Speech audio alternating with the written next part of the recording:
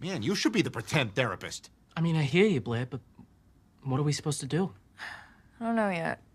But somehow we gotta help her find her voice. I mean, we're the only ones that can do it. Couldn't agree more, Blair. Delusional narcissist. Excuse me? Note to self stop saying what you write.